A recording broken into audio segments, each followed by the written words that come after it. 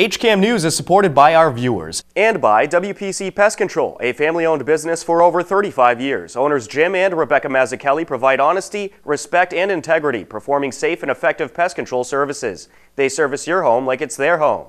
And by Hopkinton Drug, located in this historic New England town since 1954. They are a multifaceted store dedicated to providing clients with an array of healthcare options.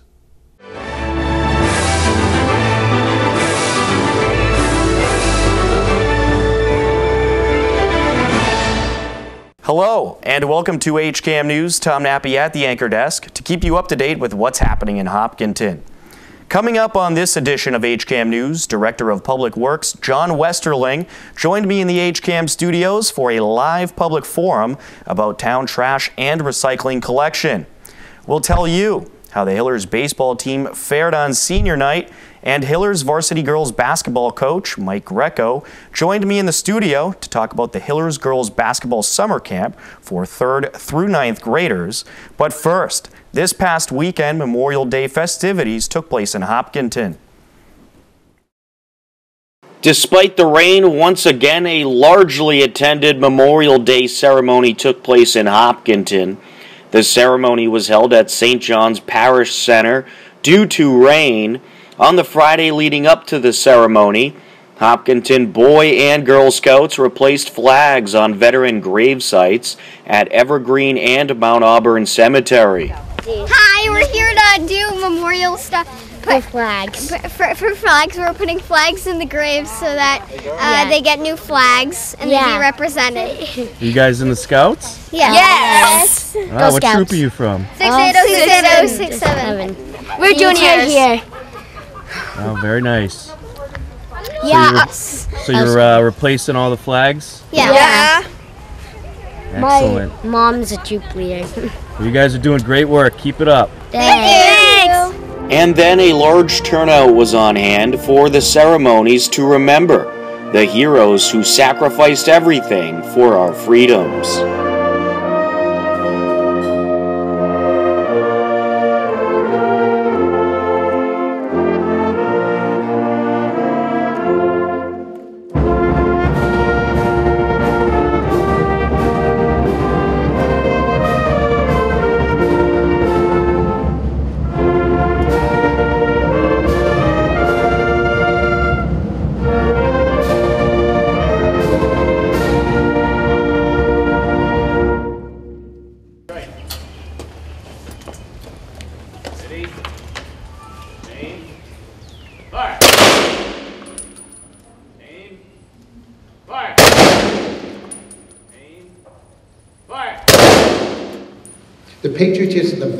Here today is more than the pride it takes to chant USA, USA at a sporting event.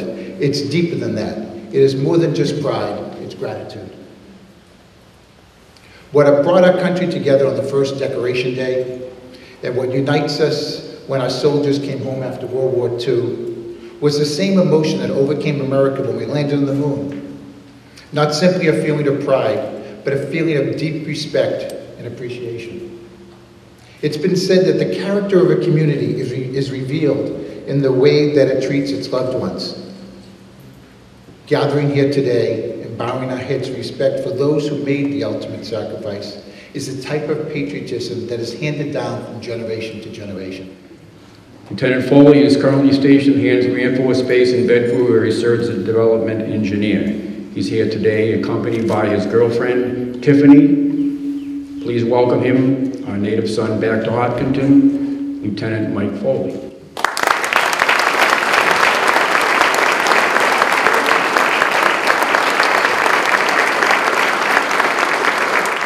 So today is about memorializing those who've come before. And it's not just about remembering, it's also about a call to each and every one of us who is still alive, still here today. And everybody talks about being thankful, being grateful, and I want to echo what several people have already said since I think it's the most important part, is that it's also a call to duty and a call to service. Not everybody's going to serve in the military, not everybody's going to go off to war, not everybody, thankfully, will live in a time of war. Uh, Unfortunately, we do now, and it's a reality that every day there are more and more people added to the roll of honor of each of the services, the names of those who've fallen. But there'll come a time when we'll live at peace again, and as has been said, there's no such thing as a good war and no such thing as a bad peace. And that's when the call to service for all of those who don't wear the uniform comes to the forefront. It's easy to honor those who serve. We talk about buying a cup of coffee, and that's wonderful. There are tons of veterans out there who are incredibly grateful and their families for each and every act of kindness that's brought to them. But the call to service is two parts. There's also the call to serve your nation as a citizen, as a mother, as a father, as a teacher, as a student, every single job has merit and value if you look at it as a part of making our country great. Despite the rain, it was a great ceremony at St. John's Parish with an excellent turnout to honor the heroes who sacrificed for this country. This past week in the HCAM studios, Director of Public Works John Westerling joined me for a live forum to discuss options going forward in trash and recycling collection for the town of Hopkinton. Here is a look at the proposed changes being discussed. We are looking at three different options actually. Uh, we're at the end of a five-year contract with E.L. Harvey, so we're working with E.L. Harvey, we're negotiating with them on three different options. Uh, the first option is to maintain the status quo, current service, which is trash folks put out in their own barrels and recyclables they put out in either a recycling bin or an old hamper or other modes of, of collecting the, the recyclables. The second option that we're looking at is automating both the collection of trash and recyclables, which I'll show you in a moment. Folks will get a wheeled cart where they can put their trash and recyclables in. They bring those out to the curb, and those are collected automatically through the automated system. Uh, the final option that we're looking at is to automate the collection of recyclables, but leave trash in its current format. In other words, you would have a large cart for your recyclables, but you'd put out your trash in your own barrels. So ultimately, is this going to save the town money? Is it going to save the citizens money? It actually is. And the reason that we're looking at these three different options is that the more people recycle, the less the town has to pay when the trash is brought to Millbury, to the Wheelabrator facility, the less we have to pay to dispose of it. So the more people recycle, the less we have to pay for trash. Um, it's also, um, what it, the statistics actually show that uh, for those communities that do use the trash barrels, uh, the, the 64 gallon uh, trash barrels, that those, those families in those communities, they generate 13% less trash. So that would translate to an immediate savings for our trash disposal. So Oh. if, if I can just explain that the current system allows for, allows for residents to put out their trash two barrels per week, but the barrels cannot exceed 39 gallons. So you can't, when you go to Lowe's or Home Depot, other stores, you can't find a 39 gallon trash barrel. What they sell are 32 gallon trash barrels. So what I have here, I have two of the 32 gallon trash barrels. And what people do in the case of a 32 gallon trash barrel is something called snow coning. In other words, they pile the trash on top. Um, so we've got two trash barrels that in this case we have 75 gallons of the same volume of what we would see in the trash that folks would put out. So if we went with full automation of trash, this is what every home who's currently being collected by E.L. Harvey under the town system, which is single family, two family, and three family, everyone would receive one of these barrels. It's a wheeled cart. It's very easy to maneuver, um, and also fully loaded, it's very easy. This cart is 64 gallons. Yep. So if folks are, what I wanted to show is that if folks are currently putting out 75, 79, somewhere around 80 gallons worth of trash, uh, I'll just take a moment while we're talking and show you that although this is only one container, the volume that it holds is the same that you'd be able to put out at the trash, out at the curb today in your two barrels. And remember, these two were snow coned. And also, people don't have to pay for these, correct? That's absolutely correct. The savings to the community are twofold. Um, One is that folks would receive one of these for trash and one of these for recyclables at no cost to either the town or residents. So what's the difference between these? How do you know what one's trash, what one's recycling? You can see that snow cone in the smaller barrels or snow cone in the larger barrel, you'd still be able to put out the same amount of trash. Uh, The way that we'd be able able to identify these is that we can select our colors. There's a small palette of colors from which we can choose. We would likely go with something like uh, green or blue for recycling and gray or a different color for, for the, excuse me, for trash. Recycling would be a different color. The full broadcast of the Recycling Forum can be viewed on our YouTube page or found on our website, hcam.tv. There is a lot more ahead on HCAM News, including a look at Hillers baseball as they entered the final few games of the season. Courtney will get you up to date with the latest programming coming up on the HCAM channels. And right after the break, earlier this week, Hillers girls varsity basketball coach Mike Greco stopped by to talk about the Hillers girls basketball camp. You're watching HCAM News. Stay tuned. HCAM News is supported by our viewers and by Webster First Federal Credit Union, providing financial products with attentive customer service to the local families and businesses of Hopkinton. Visit us at websterfirst.com. And by Golden Pond Assisted Living, honoring resident choice, dignity, and independence. Our health and wellness focus keeps residents active. Golden Pond, state of the art senior housing and healthcare services. Do you have what it takes?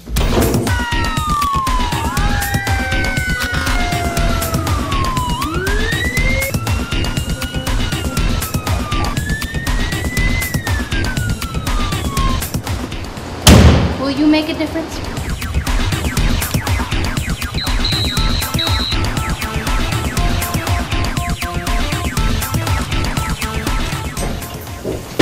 Always an adventure.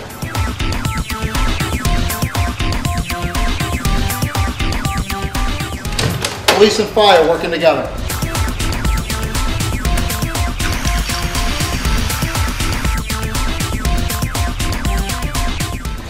Utilizing the latest technology.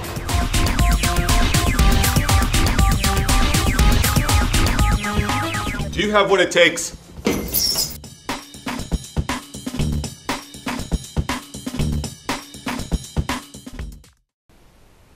You're tuned in to HCAM News. Tom Nappy here with Hillers varsity girls basketball coach Mike Greco. Mike, how you doing today? Doing very well. Thank you very much for having me.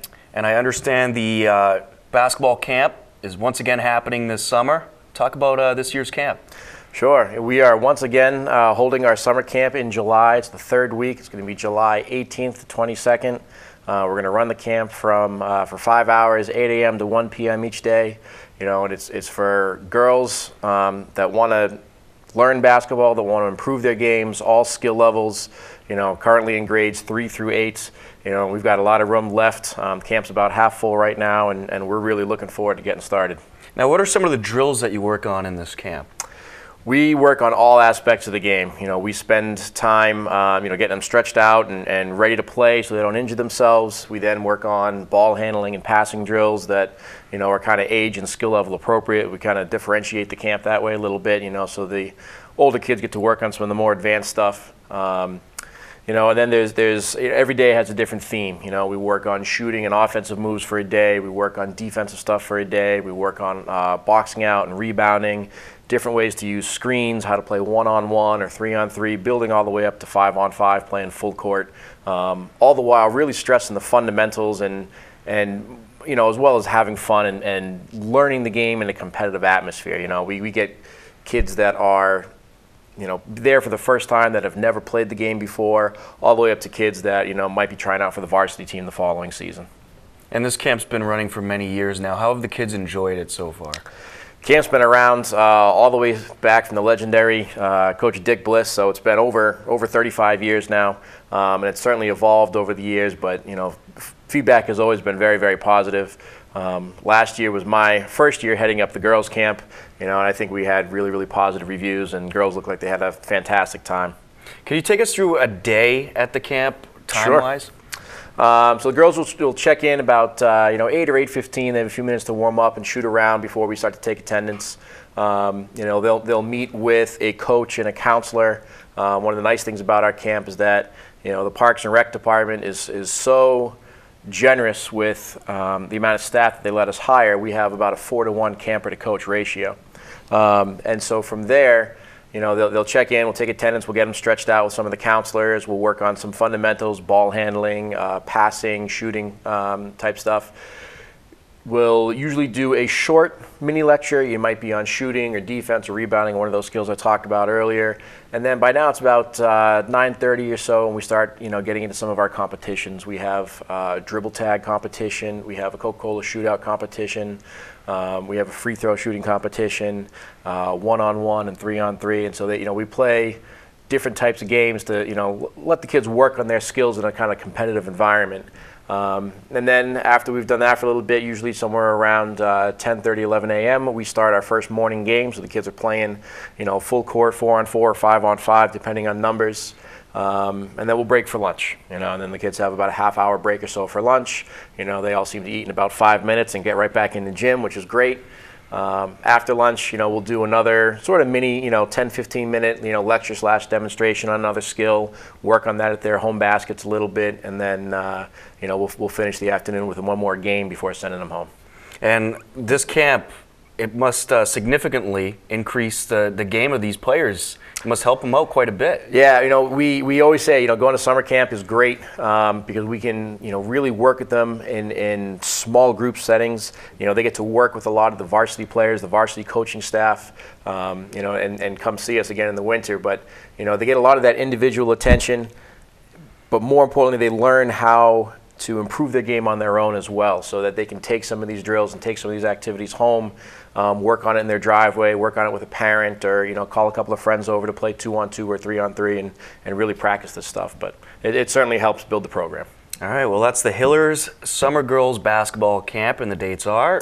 Dates are July 18th to 22nd from 8 a.m. to 1 p.m. All you got to do to sign up is visit the Parks and Rec website, or you can visit the Hopkinton Girls Basketball website through the high school, uh, and there's a link right there and, and additional information about the camp as well. All right. Well, thanks so much for taking the time to talk with us today. Thank you very much for having me. I had a great time. You can take a look at the interview again or find all the information about the Hillers Girls Basketball Camp on our website, hcam.tv.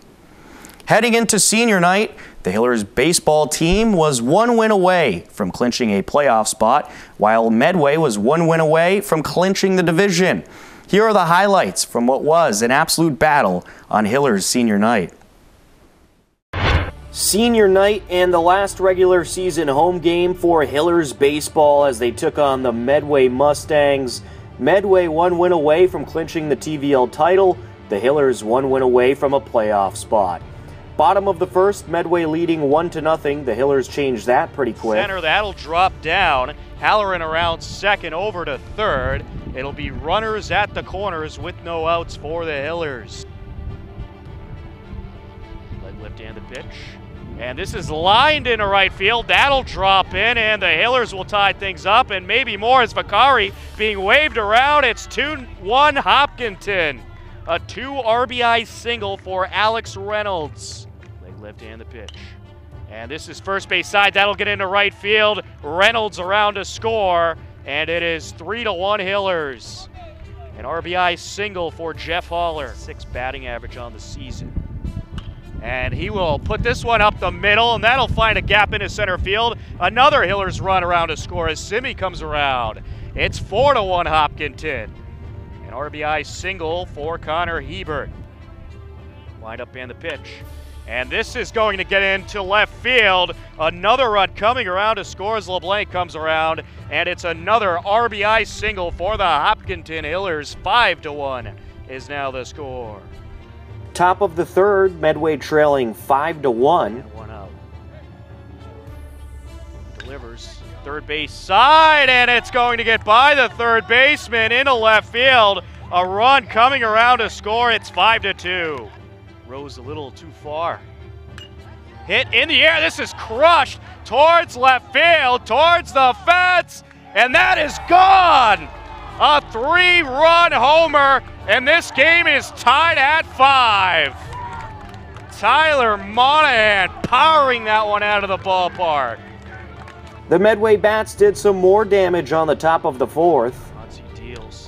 On the ground, first base side, that'll get into right field. One run already in a score, second run being waved around, and it is 7 to 5 Mustangs. A two RBI single for Nick Assad. Nazi delivers.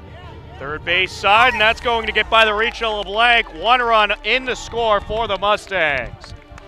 An RBI single for Downing. Wenzel comes around, an 8 5 lead for Medway. After a single and a walk puts two on with no outs for the Hillers in the bottom of the fourth, the Mustangs bring in Sean Patinji to take over on the mound for Nick Assad. However, the Hillers bats keep going.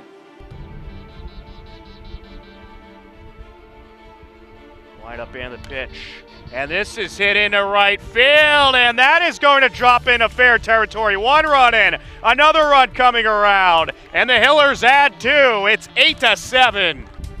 Line up and the pitch, and this is hit in the air to center field, and a great catch, but tagging up and coming around is Vakari, and it is a tie game. Top of the fifth, the Mustangs bats continued. Right up in the pitch, the bunt is down and pulled back. Ball four, second walk for Onsi, and that's going to do it. After starter Tom Onsi walked a pair with one out in the inning, Drew Simi came in to pitch for the Hillers. He managed to get the leadoff hitter Jeff Wenzel to ground out, but Nick Assad kept the offense going for Medway. Simi deals. And this is going to take a couple hops on the infield grass. Glove by the third baseman. Throw to first is not in time. And two runs are going to score for the Mustangs. TJ Nelson came around from third, and Broder all the way from second comes around, and it is 10 to 8 on the two RBI single from Nick Assad. The Hillers trailing 10 to 8 in the bottom of the fifth. Two outs, bases loaded. Alex Reynolds at the plate. And this is hit into right field, and that'll drop down for a base hit. One run in, another run being waved around, and that is going to be a tie game. And now Bakari coming around, and he'll score as well. It's 11 to 10 Hillers. But then the hitter, Alex Reynolds, thrown out as he goes to third. But no worries as Hebert, Wolf, and Bakari all come around to score, and the Hillers once again take the lead on the three RBI double by Alex Reynolds. Top of the seventh, the Mustangs down to their final out. Nick Assad at the plate with two men on base. On the ground, up the middle, gloved and bobbled by the shortstop. The throw home is going to get away. The ball game's tied. A bobble by Vakari and Aaron throw home, and it's 11 to 11. Top of the eighth, two on, two outs for TJ Nelson. The. And this is hit up the left side. That'll get into left field. Tyler Monahan, the lead runner, being waved around third. He'll come in and score. And the Medway Mustangs take the 12 to 11 lead. The Mustangs end up with the victory over the Hillers in what was an absolutely amazing game. The final score was 12 to 11 Medway in eight innings. The Medway Mustangs clinch the TVL title with the victory. A big congratulations to both teams on quite an amazing game to watch. Despite the loss, Hillers baseball did end up clinching a playoff spot. They finished the season 10 and 10 overall. Be sure to stay tuned to our Facebook, Twitter page, and website hcam.tv for all Hillers Spring Sports playoff updates. With summer here and school in its last few days, a whole lot of new programming has been and will continue coming your way on the HCAM channels. Here is Courtney to tell you everything you need to know with our HCAM Insider. Hello, everyone, and welcome to the latest edition of the HCAM Insider. On Friday, June 3rd at 8 p.m., Denise Hildreth returns to give an update on Youth and Family Services on Hopkinton Coffee Break. A lot of what I've done is meeting with parents for consultation around a variety of challenges that they might be facing. Everything Mhm. from divorce, from significant loss, from behavioral challenges, Mhm. mental health challenges with kids or adults in the family, um, substance use and abuse, um, need for addiction related support. On Saturday, June 4th at 1:30 p.m., the Hillers take on the Mustangs in baseball versus Medway. On Monday, June 6th, Tom Nappy is joined by HHS students to give a sports update on a new HCAM News Focus. At 7 p.m., the 2016 Helen Creeley High School Student Poetry finalists read their poems on Wake Up and Smell the Poetry. My name means soul in Spanish and young woman in Hebrew, and if someday I lose myself, I hire my name to place in my stead, allowing me to become it. On a new physician focus at 8:30 p.m., how the media and CDC address new contagions and how the public should react are discussed. The visual images that you would see during the coverage of the outbreak reinforced some underlying narratives about um, how things were out of control, uh, as opposed to that we had a plan in place and we're getting things under control. On Tuesday, June 7th at 6:45 p.m., the Board of Selectmen meeting will air live on HCAM TV. And on HCAM Ed, the 8th grade spring concert will air. HCAM has so much programming to offer, and you can find out more by visiting hcam.tv/connect to sign up for our HCAM Insider newsletter. Or if you want to keep up to date with what's going on around town, you can sign up for our daily news updates. As always, thanks for watching HCAM. Now back to you, Tom. Thank you, Courtney. That will just about do it for this edition of HCAM News. Don't forget to stay up to date with everything Hopkinton by checking out our website, hcam.tv, as well as our Twitter and Facebook page. Right now on our website, hcam.tv, you can view the entire broadcast of the Town Recycling Forum, plus much more. If there is a photo, video, or story idea you would like to share with us, feel free to email me at news at hcam.tv. With your help, we'll cover even more of our community. For everyone here at HCAM, I'm Tom Nappy. We leave you now with the current community listings and upcoming government meetings. And coming up, a special edition of HCAM News, as with the help from a few guest hosts from Hopkinton High School, we will show you some of the best highlights of the spring sports season. Take care, and thank you for watching HCAM.